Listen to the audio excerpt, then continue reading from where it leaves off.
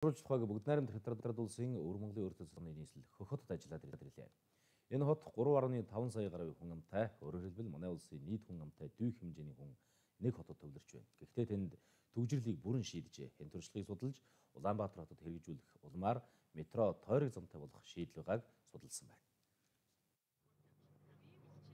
Хөгжрөл гэдэг ганцхан үгэнд хөгжлөө төгжиж орхиод таггатсан манай улсын хаяан зэрэгцэн орших хөх хот өнөөдөр өсрөнгөө хөгжсөн хотуудын сайн жишг төрчээ. Энэ хотод амьдардаг 3.5 сая гаруй хүн ам нь манай улсын нийт хүн амын тоотой тэмцүү. Гэхдээ тэд амьдралынхаа үн цэнтэй 1 минут секундыг ч төгжрөлд өрдөггүй. Учир нь хотынхоо дид бүтэд зам хөгжлийн бүтээн байгуулалтыг хөгжлийнхөө гол хөшүүрэг болгосон байна.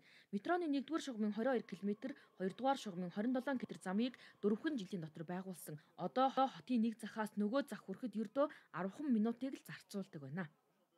Төгжрлийн талаар энэ хажуудах энэ хөршөөсөө энэ бодитлагаа юмнуудыг аваад ингээд ихлүүлээд ажиллаад явж болохгүй байгаа юм бэ гэдэг асуудлууд гарч ирж байна. Одоо бид нар ерөөсөө яаралтай энэ метроны асуудлыг ерөөсөө шийдэж метротой болж ижил хөгжих юм байна. Их хурал засгийн газар Улаанбаатар хотын энэ тулгымцсан асуудал, төгжрлийн асуудлаар гойд анхаарал хандуулж байгаа.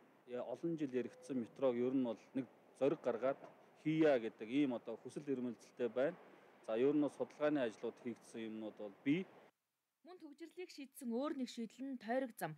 Одоогоор тойрог замын бүтээн байгуулалт 3 дугаар тойрог хүртэл ашиглалтад орсон. 2 дугаар тойрог зам 46 км, 3 дугаар тойрог нь 88 км. Үргэлжлүүлэн 4 5 дугаар тойрог замын бүтээн байгуулалтын төлөвлөлтийг эхлүүлжээ.